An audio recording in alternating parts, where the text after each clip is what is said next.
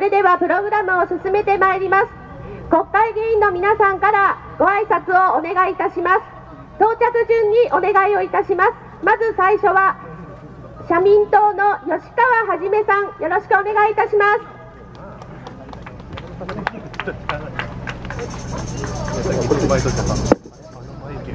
え集会に参加の皆様、大変ご苦労様でございます。えご紹介いただきました社民党で政策審議会長を務めを務めております衆議院議員の吉川はじめでございます。今、村山さんからお話がありました。この国をもう一度戦争をする国にするのかしないのか、今が大きな大きな剣が峰であります。皆さんの力でこの戦争法案、何としても廃案に追い込もうではありませんか。先週、国会においては、数の力によって強行採決が行われました。委員会での強行採決の2時間前、委員会の中で安倍総理は、国民の理解は進んでいない、そう答弁をいたしました。国民の理解が進んでいないにもかかわらず、わずか2時間後に強行採決、これは一体何を意味するのでしょうか？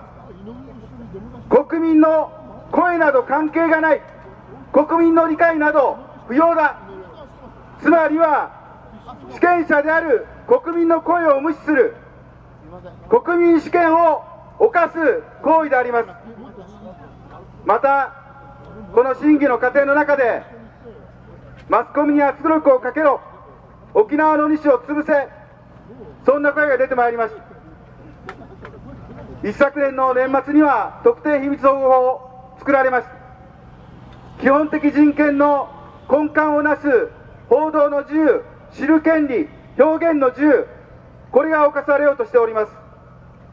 今回の法案の中で明らかになったのは法案そのものが日本の平和主義を壊すそして国民主権を無視をする、また基本的人権を侵害をする、つまりは日本国憲法3つの柱である国民主権、平和主義、基本的人権の尊重、すべてを破壊をするのが今の安倍政権であります。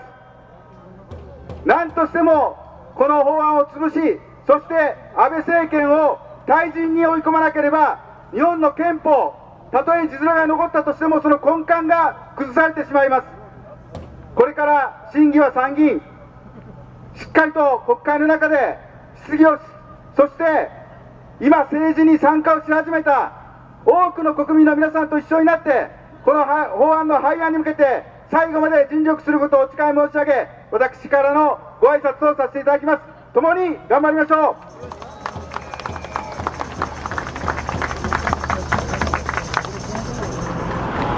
う。吉川さんありがとうございました。続きまして民主党から近藤昭一さんをご紹介いたします。近藤先生よろしくお願いします、えー、皆さんこんにちは。連日のご奮闘心から感謝と敬意を申し上げたいと思います。ただいまご紹介をいただきました民主党幹事長代理を務めます衆議院議員の近藤昭一でございます。先ほど村山富一元首相から渾身の思いを込めた訴えを聞かせていただきました。戦争を経験した者として二度と戦争を起こしてはならない。これからこれからの世代に絶対に悲しい思いを殺し殺されるようなそんな時代を作ってはならない。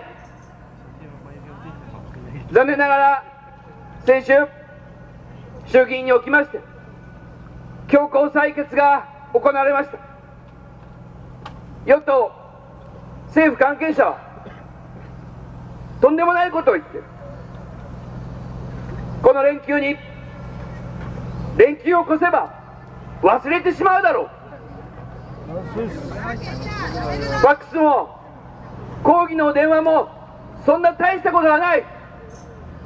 とんでもないじゃないですか。私もあの特別委員会当日委員会室におりました。今吉川さんからも話がありました。安倍首相は国民の理解は国民の皆さんの理解は進んでない。こういった進んではないんではないんです。みんな理解してるんです。だから反対してるんです。そしてまたこんなことも言っていました。あの戦争に対する認識はどうなんだと。総理は、まあ、歴代内閣と一緒だと。こういう言い方であの戦争に対する謝罪の言葉も反省の言葉も全くなかったわけであります。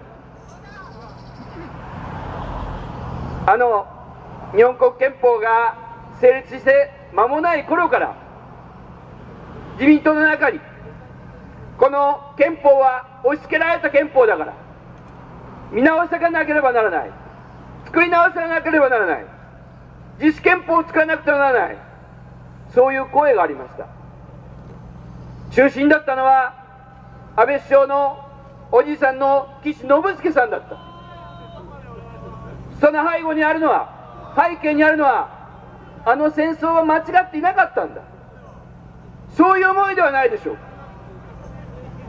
あの戦争は間違った戦争だ絶対にこれからは戦争しない殺し殺されないその決意を国民が憲法に込めて国民が憲法を作った。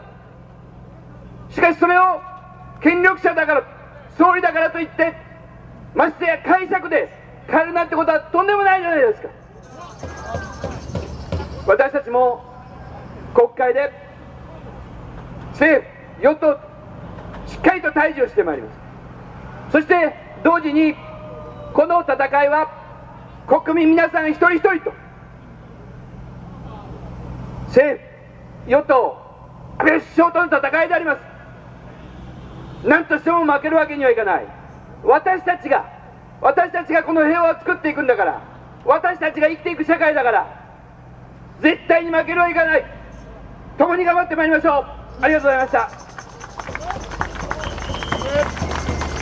ただいまのお話は衆議院議員の近藤昭一さんでした。ありがとうございました。